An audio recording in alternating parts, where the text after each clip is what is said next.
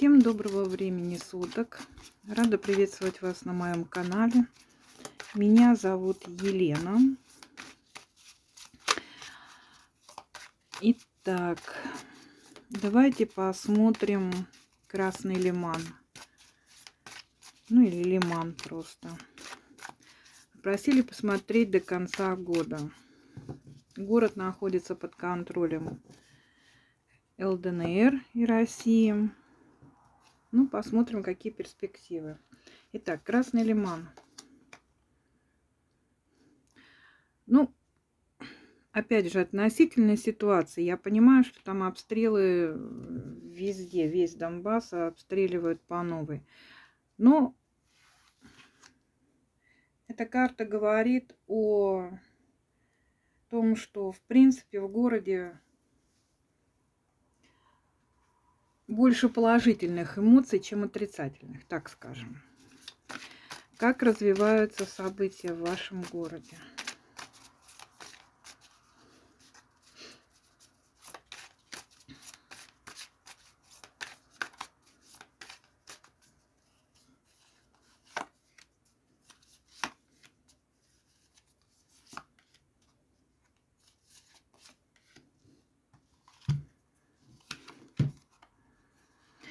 Ну, пока ситуация до конца не прояснена, ну, в каком плане, что, что делать, да, с городом, потому что я так, мне написали, что город очень сильно разрушен.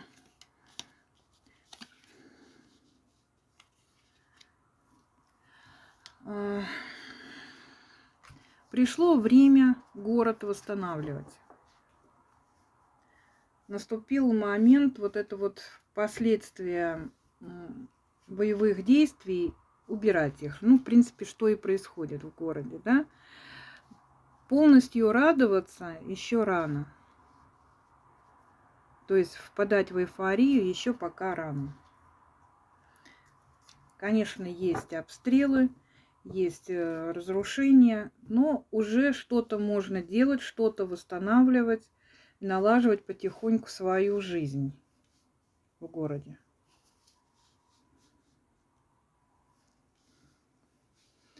Сейчас одну минуту поправлю, чтобы видно были все карты.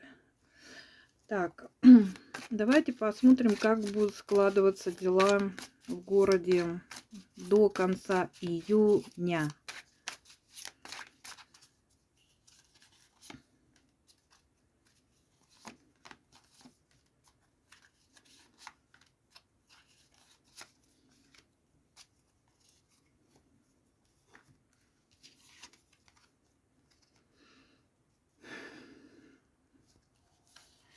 Ну, зачастую придется вспоминать, что было раньше, как было раньше, да? И, соответственно, ну, максимально приближать э, город к прежней жизни. Продуманно, настойчиво, спокойно. И получаю, в принципе, от этого удовольствие, потому что когда есть возможность восстановить то, что любишь, это классно. Ну и движение к цели, это восстановление, защита города, чтобы наступил наконец мир. К этому город идет. И идет семимильными шагами. То есть вот это вот восстановление все будет развиваться очень быстро. И потенциал для этого есть очень хороший. Максимально, я надеюсь, будет помощь приходить. И все будет потихоньку налаживаться. Это я думаю, на какой вам дальше колоде лучше разложить. Что-то мне хочется вам на золотой разложить колоде. Потому что я думаю, что вас больше беспокоит именно восстановление города, работа, здоровье, ресурсное состояние как города, так и людей. как будут развиваться события в городе июля месяца и до конца года 2022.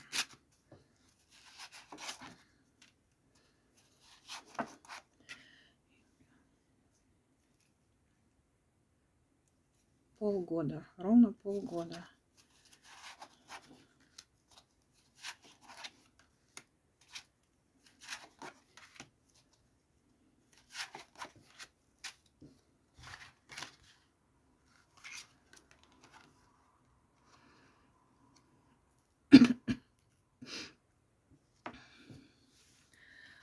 Будет найдено очень много идей для того, чтобы дальше город поднимать. Новых идей, новых предложений, новых людей, новые возможности. Вот это все будет очень четко продумываться, искаться и воплощаться в жизнь. Восстановление города будет идти постепенно, не торопясь. Будут приглашены, скорее всего, конечно же, и строители со стороны, и ну, проектировщики там и так далее. В общем, я понимаю так, что в любом случае это нужно люди всех специальностей. Кто-то из местных, конечно, будет привлекаться к этой работе, кто-то новые будет приходить. Но совместными усилиями объединяясь, это все можно будет восстановить.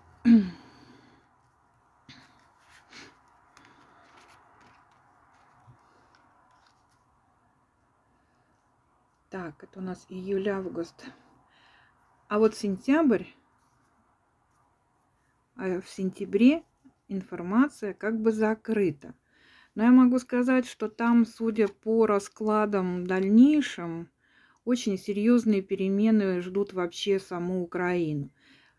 И от этого, конечно же, будет зависеть жизнь в самом Лимане. То есть вот это вот июль, август и сентябрь.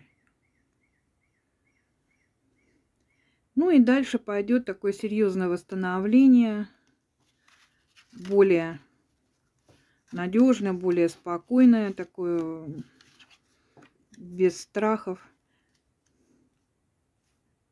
Город будет идти к своей цели.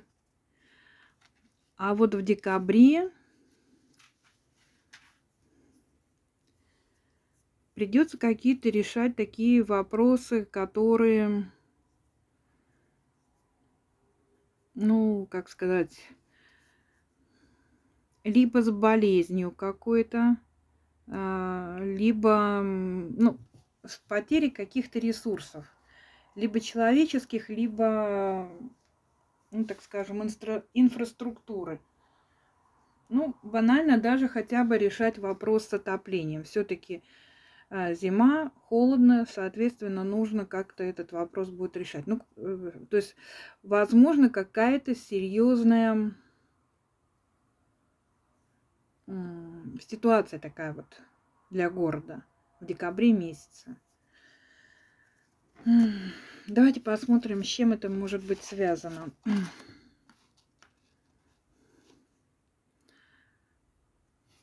С работой.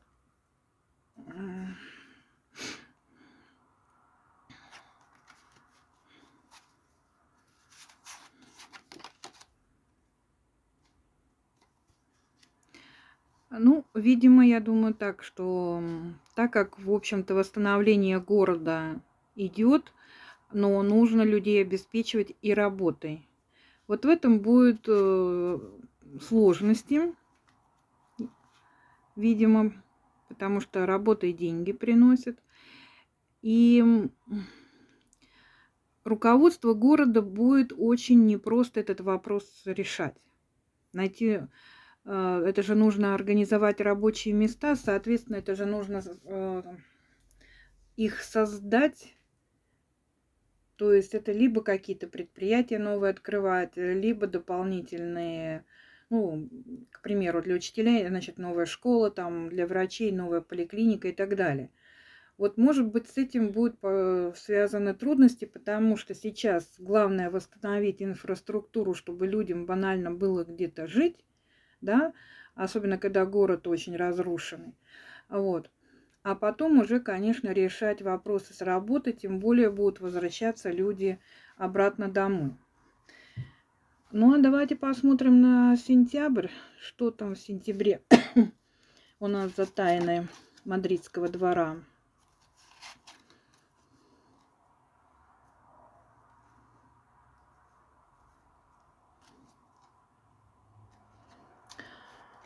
Ну, какие-то серьезные переживания будут в сентябре. Опять же, связанные с ресурсами.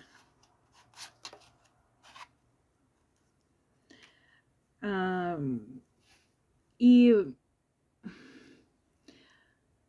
наступлением мира, когда станет тишина, наступит тишина.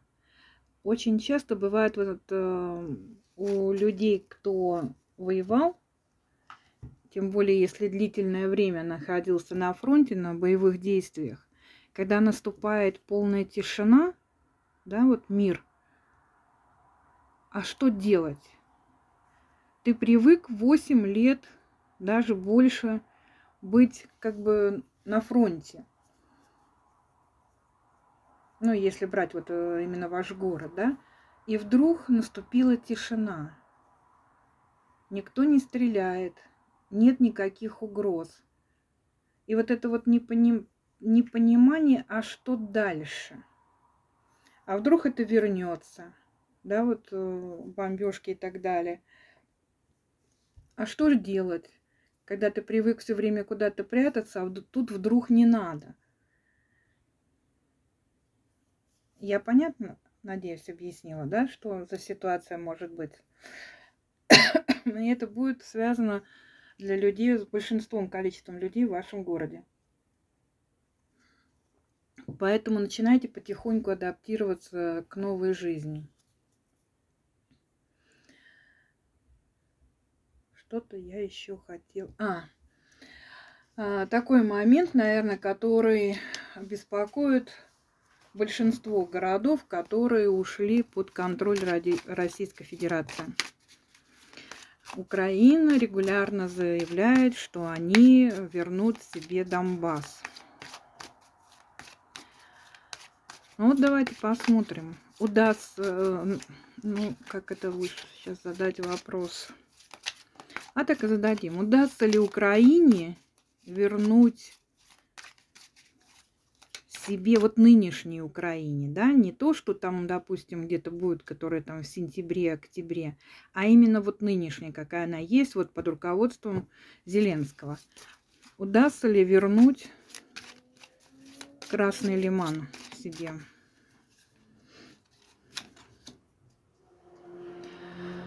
Ну, они могут это пытаться делать, ну, в том числе и обстрелами издалека.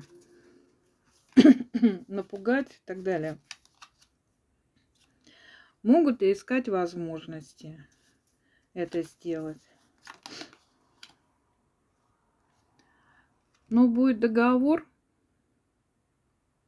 где-то вот в сентябре месяца. И все поставить на свои места. Будут подписаны бумаги о которых пока лучше не говорить. Пока эта информация закрытая, тайная, так скажем.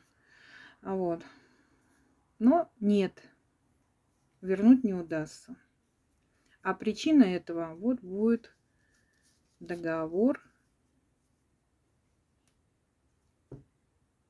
и подписанные документы. Не просто на словах договоренности, на подписанные документы. Сейчас, конечно, будет тяжело. И обстрелы, и какие-то залетные товарищи могут быть. То есть могут быть поиски этого возврата. Но, опять же, судя по тому, что происходит на фронте, какие идут разговоры, пока им будет в любом случае не до вас. Сейчас постараются вывести из Северодонецка остатки свои. И вообще вывести войска за Северодонец, за, ре, за реку туда, для передислокации. Ну, если им это удастся, пусть пробуют.